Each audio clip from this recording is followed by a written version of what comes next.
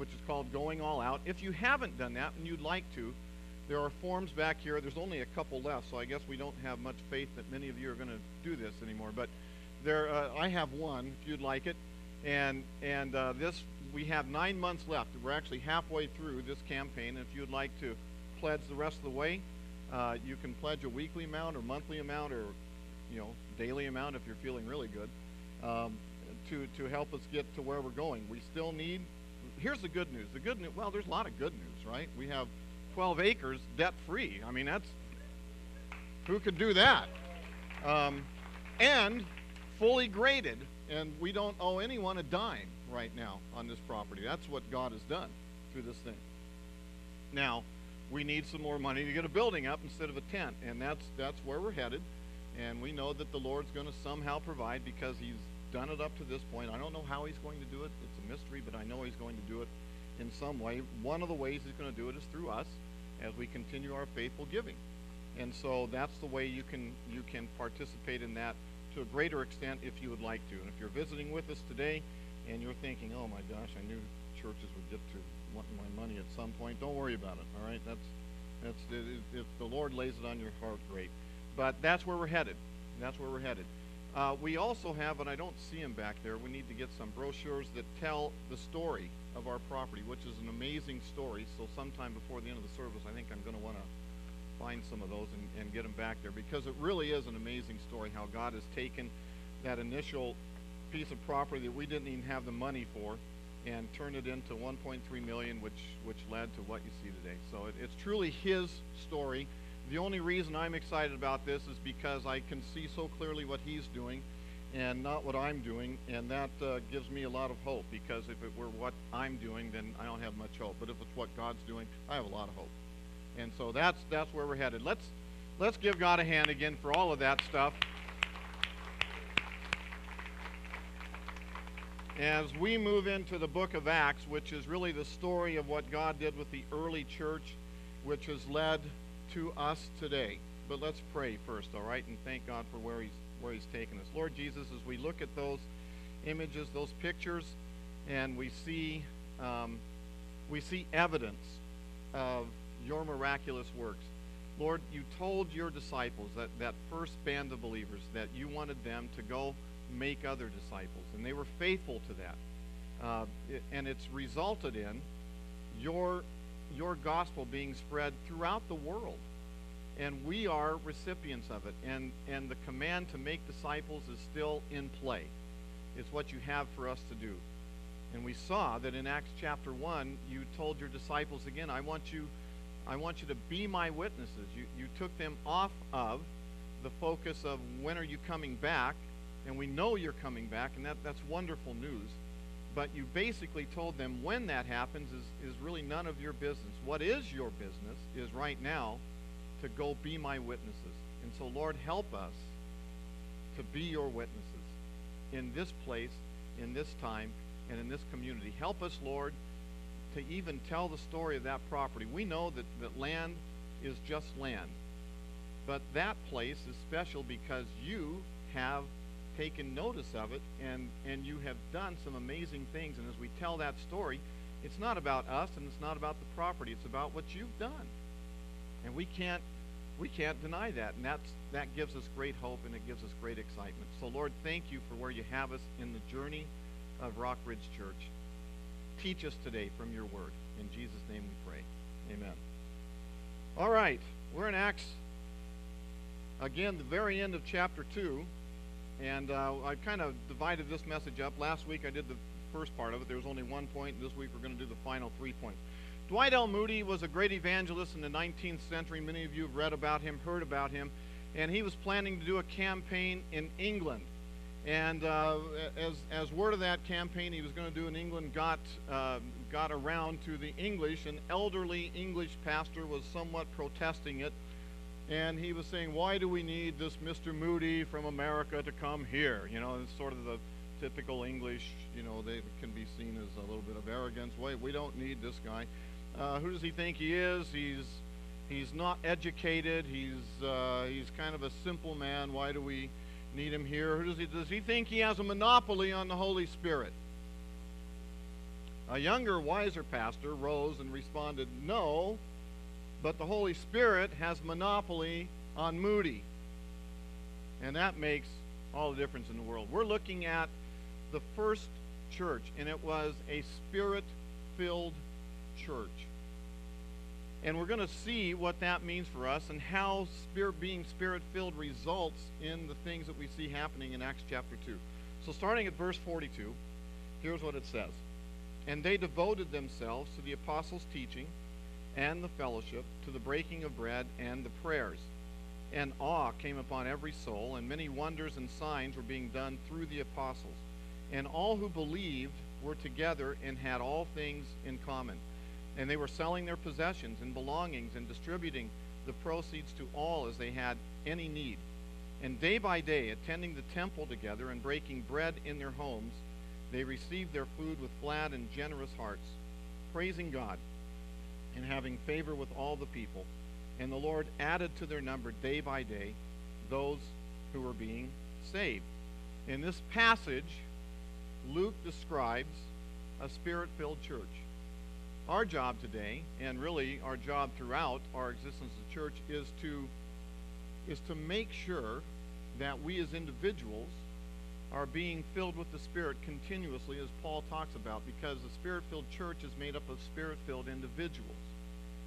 It Can't be a Spirit filled church without Spirit filled individuals. So it starts with me, and it starts with you.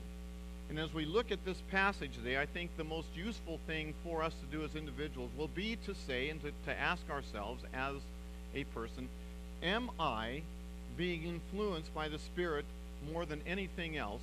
Or are there other things that are pulling my affection and my time and my energies away from being filled with the Spirit? And what does that mean for me? All right? So we last week we saw the first the first characteristic of the Spirit-filled church is that it was a, a learning church. A spirit-filled church is a learning church. It talks about how they how they um, they devoted themselves to the apostles' teaching. And we talked here about how in America we've become a little bit biblically illiterate. We, we just don't know what's there. And if we don't know what's there, we can't think biblically. Spirit filled people have a hunger for God's Word because the Holy Spirit has a hunger for us to know God's Word. And if He's, if he's moving us and if He is influencing us, it will come about that we'll have a hunger for God's Word. And so we talked about that last week. Second point we're going to start on today is this the Spirit filled church is a loving church. Here's what it says in verses 44 through 45. And they devoted themselves, or starting at verse 42, and they devoted themselves to the fellowship, and all who believed were together and had all things in common, and they were selling their possessions and belongings and distributing the proceeds to all as any had need. Now, I want you, I, I want again, just brief review. They devoted themselves to four basic things. They devoted themselves to the apostles' teaching, to the fellowship, to worship, and the prayers. And that's what they were doing. Those were the things they devoted themselves to. And from that devotion to these basic to these basic things came the application that we are seeing here. They didn't set out to do this, but this is what happened as they devoted themselves to the fellowship. Now, this word fellowship is, would you agree with me, overused in Christian circles today? It's overused. As a result of that, it has lost its punch with us. It, it, it, it, in fact, very often that's what it means punch and cookies in the foyer. Now it's coffee. We don't drink punch so much anymore. We used to in my when I was a kid, it was punch every time we got together, man. It was pretty cool for a kid. But we don't do that anymore. We drink we coffee. In fact, when you're nine, you're drinking coffee now, right? Your kids, they're going to Starbucks and they're getting these complicated coffee drinks already at the age of nine. Well, we, we drank punch. But what does the word really mean? Well, it, it, it's a word that, that was kind of coined by the gospel writers, and, and it means, of course, to have things in common. It's a relation between individuals which involves a common interest and a mutual active participation in that interest and in each other. Let me say that again. Fellowship is a relation between individuals which involves a common interest and a mutual active participation in that interest and in each other. In other words, there's something about fellowship where we as a people are looking out at something else, not ourselves so much, but we're looking at the thing that, that, that brings us together, and we together are involved in what that thing is. Uh, if you want to look at it like this, it, has been said that uh, in the Four Loves by C.S. Lewis, he said that lovers look at each other and gaze at each other. Friends are, not that lovers can't do it, but friends are looking out at something else, a common interest, and they're walking side by side in that interest. And that's probably a better idea of what fellowship is. Two individuals or more looking at something that, that they have in common, and as they, as they pursue that, they're actually growing closer to one another. By the way, that's a good thing for a marriage, too, if you haven't figured that out. It's not all about just you as a couple, but that other thing that's out, every time I put my arm up, I get, um, that other thing that's out there, and as you get closer to that, to that other thing, you get closer to one another. So, you'll figure it out, so I'm not worried about it. That's what fellowship is. Fellowship is that, now what is it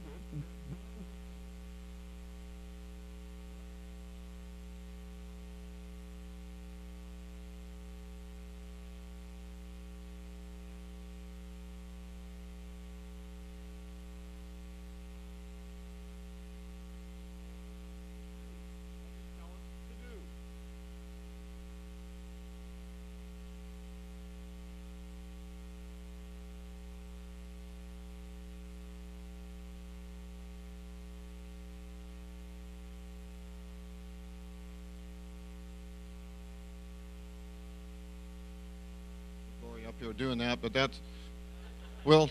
Let's try. Everybody draw. Everybody give Glory a hand, and uh, give Jim a hand back there. Common. They have. They, they they are unified around a common purpose, which is which is to make sure we have sound here, which which is needed. Thank you, Glory. All right, we got it there. Are we back on? Are we back on here? All right, testing one, two, three, four. This is your nine o'clock. All right, good. Now, I think the emphasis here needs to be that their allegiance to Jesus and their pursuit of obedience of Jesus trumped everything else in their life. It, it trumped it all. It, it was more important to them than, than anything, more, more important than their job, and some of them actually lost employment because they came into the church their career, even their family. I mean, it was Jesus who said, if you don't love me above father, mother, I mean, those are hard things. But what he meant by that was that it's not that we shouldn't love others and shouldn't love our families and, and shouldn't have love in our eyes, but, but it will all be better if our focus is upon him and what he has for us. Everything will fall into place better somehow. Do we? And the question that I have for myself, and do we believe that?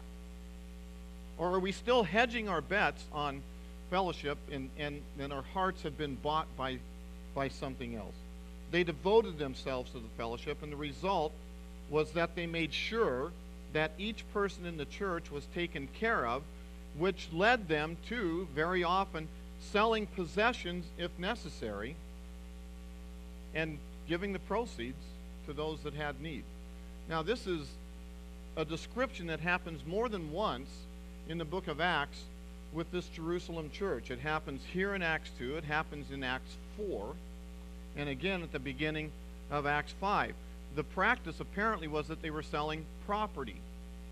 And they were bringing the, the, the proceeds of the property to the apostles who were apparently, at least at first, and they turned this over to deacons later, at least at first were managing the proceeds and handing out the proceeds to those who had need. That was how the church apparently was set up organizationally. And we know that from Acts chapter 4, or from Acts, that, that it became too big of a burden. And, and the apostles said, you know what, we can't keep doing this. We're going to have to get some other people to help. And they called them deacons. And they came along and they started to administer what was going on. So that was, that was happening. Now, the question is this if we're a spirit filled church, should we be following this practice of selling things that we have in order to take care of others in our congregation? That's what was going on there. Is it a practice that all spirit filled churches will do? Is it, is it specific to Jerusalem? In other words, is the scripture here being prescriptive? Is it telling us, here's a prescription, here's what you ought to do? Or is it being only descriptive? In other words, they are spirit filled church, and for this church, here's what it meant. Well, let, let's dig into this just for about five minutes or so because it's important. It's important in this passage, and it's important for the book of Acts, and it's important even for, for Paul's uh, letters later.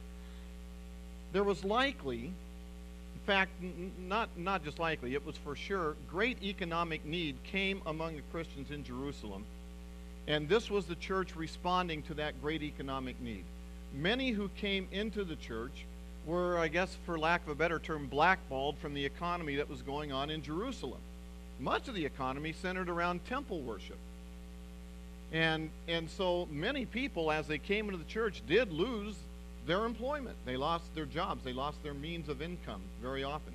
It happened in the Gentile world too, we know from the Apostle Paul in places like Ephesus and others like that. As people came to the church, they had to switch careers, they had to switch jobs. And there was a great economic need, we know, in Jerusalem, which was later on made worse by a great famine. And so there was a lot of need going on there. We know also from Acts that this was not mandatory. The apostles were not saying to the people in the church, You've got to do this. And that's really important. What was happening was a groundswell of voluntary action of people seeing needs within the congregation there in Jerusalem. And remember, they were meeting from house to house. There was no common place except for the temple area. They, were, they, they kept meeting there. But it was voluntary. We know that because as people were, it's described in Acts 4. Barnabas was one that's described. He voluntarily sold a piece of land, brought the proceeds, laid it at the apostles' feet.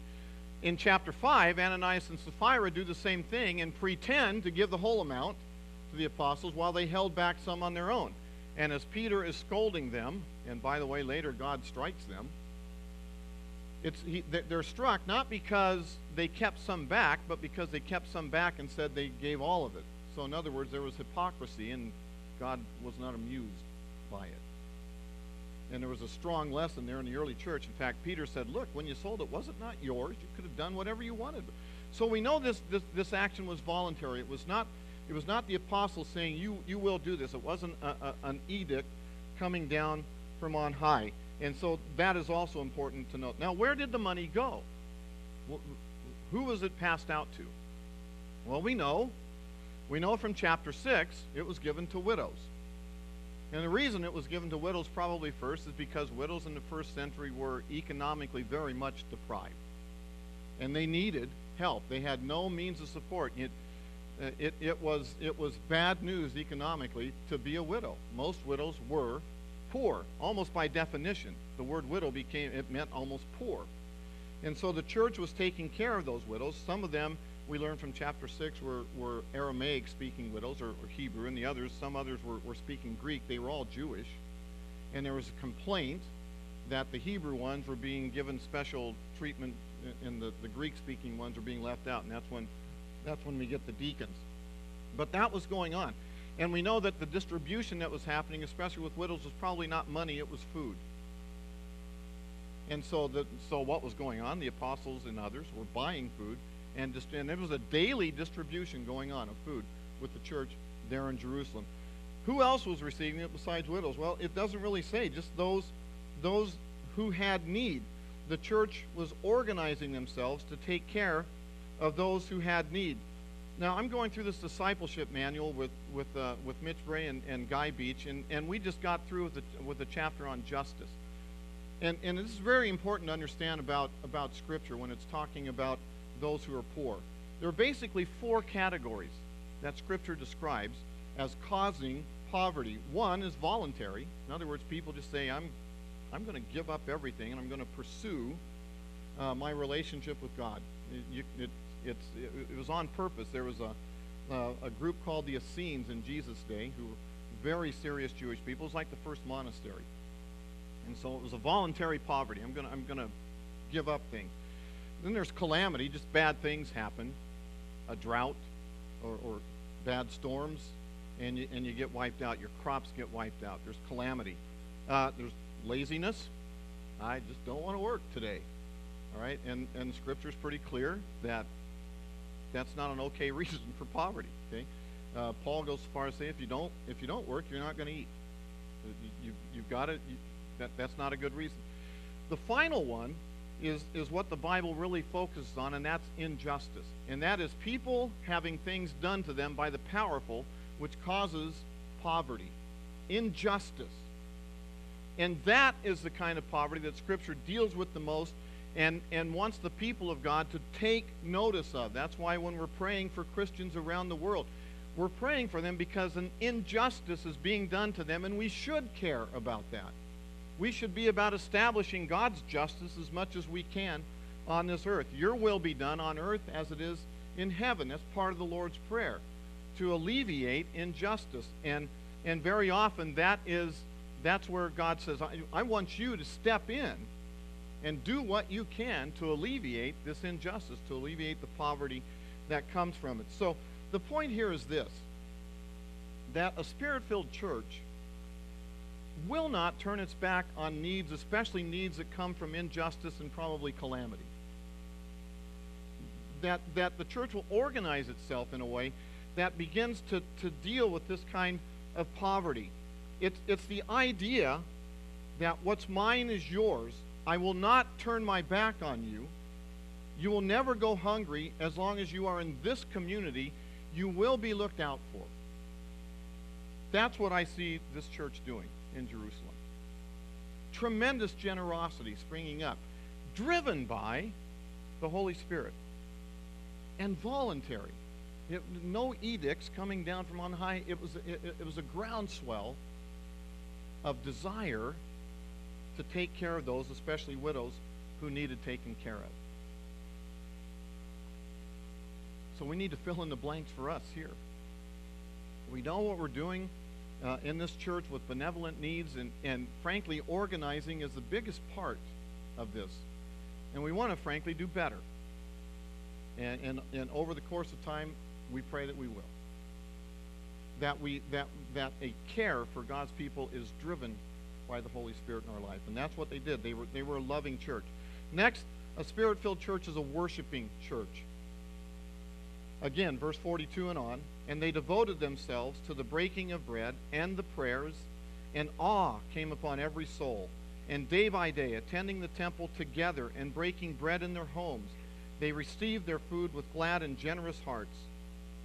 Worship and prayer were two of the essential habits did you catch that? Two of the essential habits of the early church. Based on biblical words for worship, I'm sorry, Finn. See you, buddy. Based on biblical words for worship, worship has to do with reverence, kind of what I prayed about earlier. It, we it's an awesome God, not, not a, a, a little guy. Reverence, submission, being thankful, and being willing to serve. All of those are words for worship in Scripture. And, and all of it's directed to God. One of the results of their worship was this general overall character was this. It, it's just a little phrase. An awe came upon every soul. They, they, they saw what was going on in their midst, and, and they were they were awestruck. That word awesome has become, again, a, a terribly overused word in our culture, but they were struck by awe. Why were they? Well, because they understood that God was doing stuff, and they were amazed. And it was not this cheap, oh, bless me, bless me, bless me kind of thing that we, we often have. It was, I have no words kind of awe. It was being struck, oh my gosh, look what, look what God is doing. They were dealing with God, and they knew it.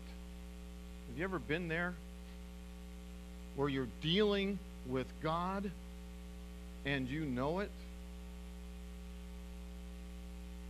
That produces awe. That produces a sense that God is, and it, it was it was both wonderful and frightening all at the same time. That's kind of the way God is. I mean, you have a bona fide encounter with God. Every encounter you have in Scripture of, of an angelic being or, or you know, something that, that, that God is doing is that. It's first oh, fear, and then comfort, and then What do I do? What do you want me to do? That's the normal progression when we have a bona fide encounter with God. And here's, here's the deal. And here's, here's what I pray for. Not only for me, I pray for it for my children. I pray for it for our church. We can teach Scripture. We can, we can, we can do things out of obedience. But I can't have an encounter with God for you, and you can't have an encounter with God for me. Oh, I so wish I could do that for my kids sometimes, don't you? That, that it could, they could just have an encounter with God that that, that is truly undeniable and life changing. What was going on here is that these encounters were happening all over the place. And people had this sense of awe. They saw what was going on. They knew that the things that the apostles were doing, the, the signs and wonders that were, that were happening through them, it was awe inspiring. They, they, they were not taking God cheaply like we do sometimes, or ignoring him. They couldn't. it was too awe inspiring. A.W. Tozer said, God wants worshipers before workers. Indeed, the only acceptable workers are those who have learned the lost art of worship. The very stones would praise him if the need arose and a thousand legions of angels would leap to his will, and he gives us the opportunity to worship him at any time. When we come together is one of those times. And it also says they devoted themselves to the prayers. And this was both this was both informal praying as they got together, and it was it was also, and I don't think we should minimize this, there were formal prayers. Okay, these were these were people coming from Judaism, and in, in, in temple worship, there were formal prayers. Even Jesus, when he taught his disciples to pray, gave them a formal prayer. We shouldn't minimize that. Memorize. They were devoting themselves to both informal and formal praying as they as they came together. And when you look through the book of Acts, prayer uh, uh, uh, preceded every significant event. Every one. Every big time event that happened in Acts was preceded by somebody praying or a group of people praying. The very coming of the Holy Spirit was preceded by them praying, not doing. Although praying is the best do that we could ever do. Praying is significant the disciples we know asked Jesus how to pray. There was something about Jesus' prayer life which, which was, which they wanted to catch, and they knew just instinctively that that Jesus' prayer life was essential to who he was, and so they asked him about it. Now I want you to imagine again, as these groups are meeting, the disciples, Peter, James, John, Andrew, Philip, Bartholomew, all the rest of the disciples that we mentioned last week, they're meeting in homes throughout Jerusalem. And, and let's just say that, that Nathaniel, all right, is, is leading, a, leading a little home group. And, and he's telling his group about how Jesus called him and, and how Jesus knew who he was before they even met. Because when Jesus first saw him, ah, Galilean, whose there's no, de- no deceit. He understood him, he knew him. And, and he would tell people about that, and, and, and then he would, he would tell them about what it was like to be around Jesus. And then very quickly, I think, he and the other disciples would probably say something like this. He said, you know, Jesus praying was the best part about being around him. It, it was the deepest, it was the thing that, that gave us the most curiosity. It was the thing that frankly frustrated us sometimes because we thought he was nuts going off and praying instead of doing something. But it was the, be- in retrospect, it was the best part about being around because Jesus knew that for him, even for him, the Son of God, prayer was not an option. It was absolutely necessary. Spirit filled people understand the importance of prayer. Finally, Spirit filled church is an evangelistic church. Here's, what, here's what's described. Verse 47 Praising God and having favor with all the people, and the Lord added to their number day by day those who were being saved. Make sure you see here in this passage that the Lord is adding to their number. Building the church, Jesus said, is mine. It's my job. I will build my church. And The gates of hell won't stand against it. And that's the way it's worded here. And God was adding to their midst daily those who were being saved. They were holding church in homes in Lower Jerusalem. I have a little picture again. I'm just really briefly going to going to show it to you, uh, I think. All right, again, here's Jerusalem. Here's the temple, 40 acres. Most of the believers were meeting in this area down here in Lower Jerusalem. We, we know from Pentecost there were at least 1,500 new believers. Jerusalem had about 40,000 people at this time. So 1,500 new believers turned loose in this section of Jerusalem, meeting from house to house. They weren't all selling their houses. okay, some people still had their houses. Uh, they were selling property perhaps outside Jerusalem, and, and that's where they were meeting. And that's what was going on. And Jerusalem was being slowly, actually not so slowly, very quickly turned upside down as these people were meeting in homes and, and talking to each other.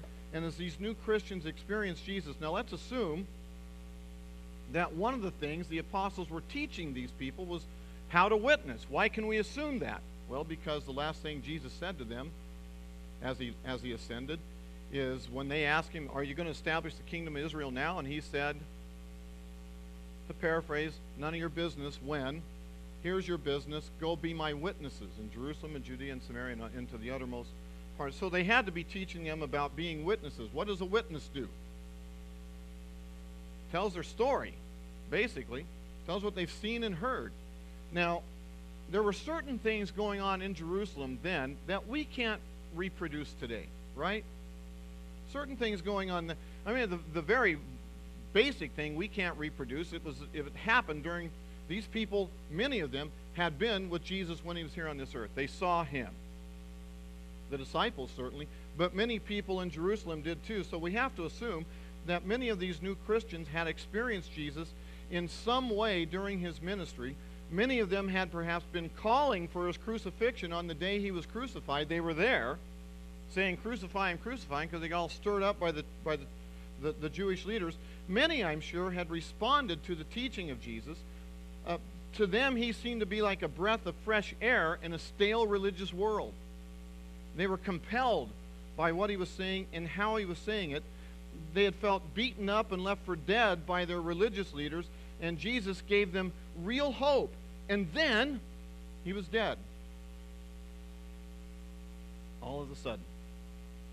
All of a sudden, he was dead. And their hope their hope was dashed. I'm sure there are many people like that. They, okay, well, another one bites the dust. Another so called Messiah gone. But then 50 days later, here come the disciples. He's alive. We've seen it. We want you to know about this. He, he's alive. Go check it out. You know where he was buried. You all know where he was buried. He ain't there. And yes, we know that they're saying that we stole his body. That just ain't true. I don't know if they said ain't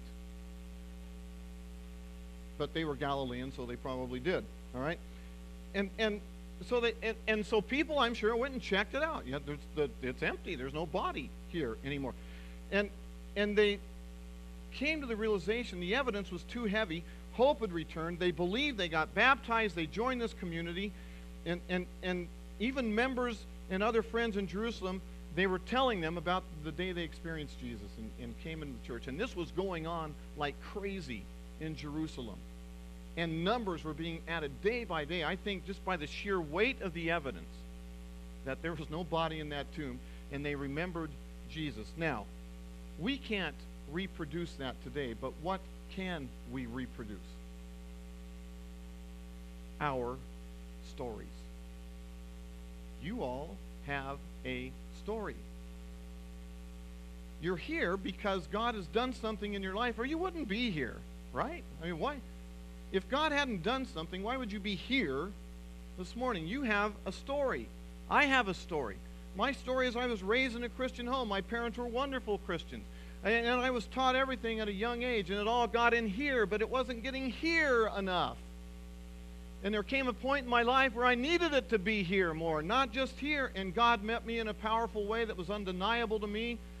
Kevin Johnson was there that day, Graham was there that day meeting of, of our elders in our church, the prayer was give Mike what he needs, and I something happened during that prayer that even beginning to talk about it, I, I, I started the, the, the weight, the power of that experience that I had with God that night didn't change what I did, but it changed everything about me as a pastor.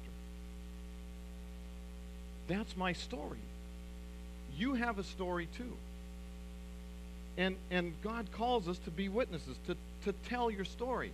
people can't deny your story. And if part of your story is to show people evidence of Christianity, great. I mean, I, I'm all for that.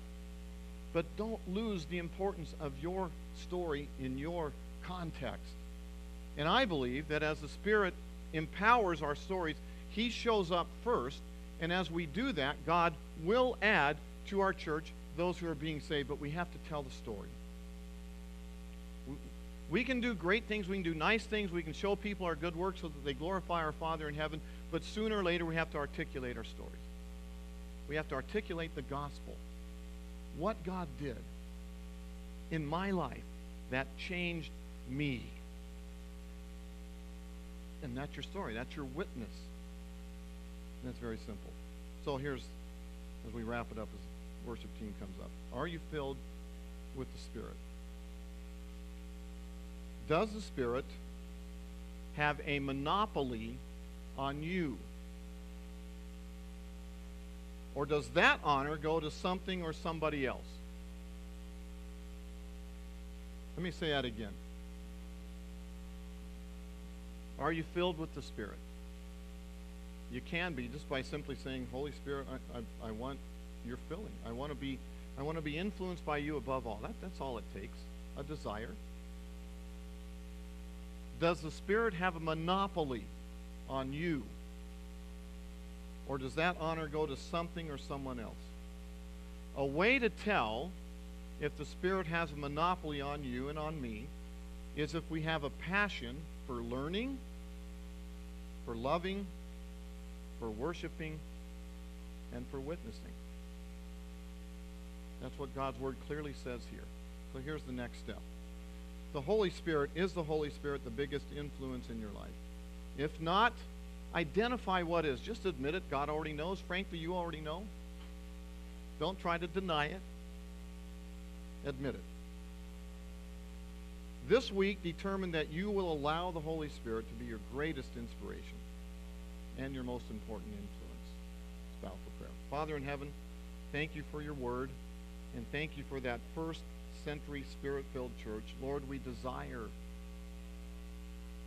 each one of us to be led and filled by your Spirit and to have you add to our church those who are being saved. Thank you that you will use our stories in this process. We pray these things, Jesus, in your name. Amen. Now, as we close today, the ushers are going to come forward again. And if you've prepared an offering for our building, uh, then go ahead. This is the time to do that. If you didn't, don't worry about it. Plenty of opportunities to give. If you want more information about about the campaign, and I'll find those brochures, tell our story, then come up to me afterwards and I'll give them to you. So let's all, you can stay seated. The ushers will, will come as we sing this last song. God bless you as you give.